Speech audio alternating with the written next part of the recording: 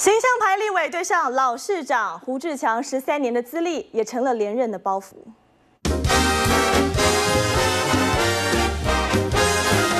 上台跳舞，信手拈来，或是穿上空军飞行装，还是戴上假发化身胡奶奶，胡志强通通二话不说，配合度一等一。只要大家设计我，我就乖乖的配合。反正只要国君一笑，然后对活动有帮助，我当然要配合。不止装扮来者不拒，还有胡适幽默，妙语如珠，不仅炒热现场，还能化解尴尬。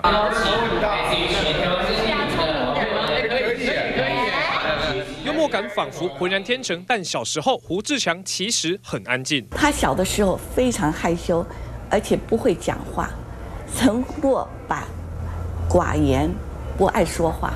大学以后才慢慢慢慢。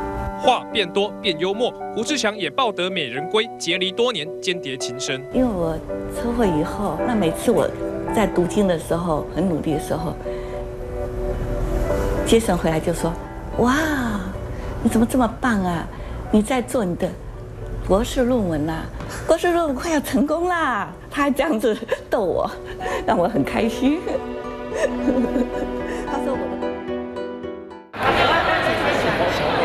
对方肩膀，这是胡志强不经意的习惯动作，透过肢体语言拉近和对方的距离。有，因为他就跟大家在一起，就好像 body body 一样啊，这样就会很容易拉近人跟人的距离了。不过有有有时候，其实哦，我应该也要来劝他一下，因为因为他的手劲很强。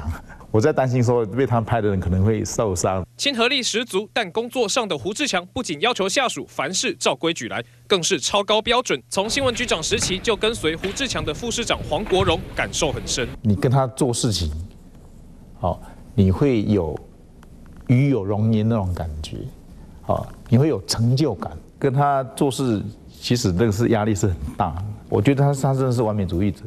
他有工作狂，好，他是完美主义者，而且他就是他是巨细靡遗的人，那而且最重要就是他他的记忆又特别好，也是工作狂。不过今年已六十六岁，二零零二年轻微中风，加上过年前低调进行冠状动脉绕道手术，都让胡志强的健康状况成为选战焦点。现在好了，谢天谢地，开刀之后，那个卫生说他的心脏。